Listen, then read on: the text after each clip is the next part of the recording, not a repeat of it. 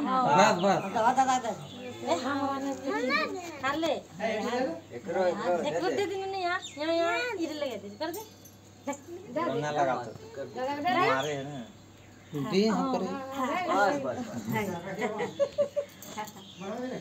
ओ देखिए बस हो गए अपने बंद रख जूमिंग कर दे ले जरा कम करना कहाँ रखेगी चैन के रखेगा ना सेम लो हे छोड़ इनके। ठीक हो को